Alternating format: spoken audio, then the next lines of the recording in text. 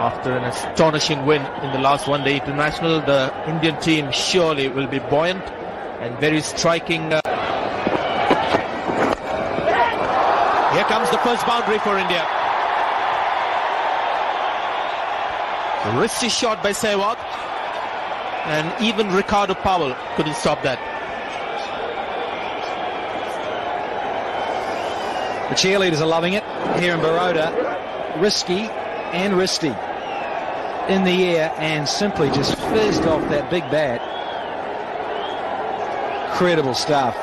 You see, there's an angle. Get in there about, wow, middle leg stump. Sehwag's going to make you disappear. No point trying to catch that, Pedro Collins. That is fair raced away. And the second one. And it's also a no ball.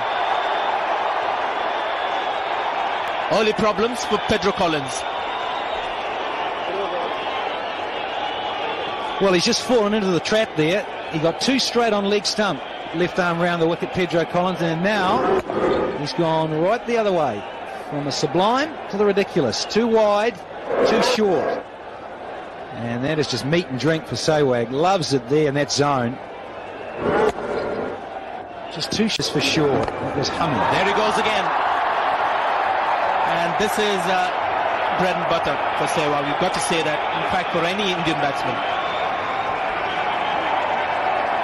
Very much so again, just struggling in at about middle stump. You see, even on middle stump, you're going to go. Now, Collins gets the ball to swing back a little bit. And you see anything in there, no protection inside 14 overs. And it's just the length. It's a lovely little pickup length. You might start thinking about coming back round the wicket next over.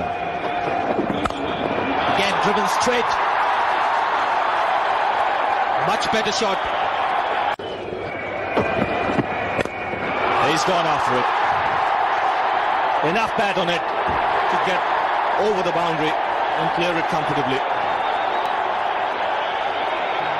That's why it's a gamble. First six of the game. It's just dragged that down.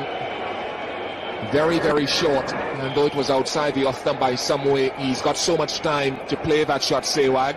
Good eye. Yep, going, going, gone.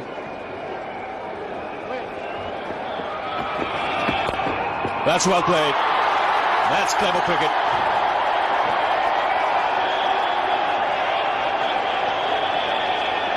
Ten of two balls for Sehwag. Yeah, this is like the lamb to the slaughter here for Wavell Hinds. He just doesn't have that control to be bowling at this stage. Not to batsmen of this class and quality. Sehwag knows where the gaps are. Deliberately taking that off something where middle stump. Sehwag was clever to use the pace of the bowler. This time he's gone on the other side of that man. The result the same. This is a big over for India.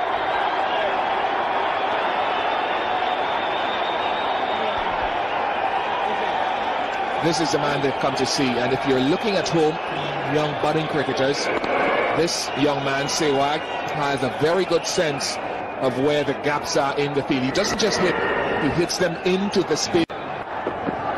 He's looking for the gap, and he goes for the big one again. One bounce, and over the boundary. Well, he's in the mood where he wants to take this attack to the cleaners. 70 for no loss India. And that's another one of those shots where he knows that the there's a mid-off. He's looking to hit the ball deliberately over it. You couldn't say it was an outrightly. That struck straight back. 50 for Sehwag. His eighth in one-day internationals, and it's come off just 37 balls. Another will make you pay the price for it.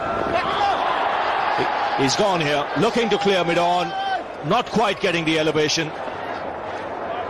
And a breezy innings from Sehwag comes to an end. West Indies get their first wicket. Yeah, rightly disgusted with himself, but credit to Collymore. He kept his length very full. He was consistently up there, and Chanderpaul took a good catch. He's gone for 52, 88 for one.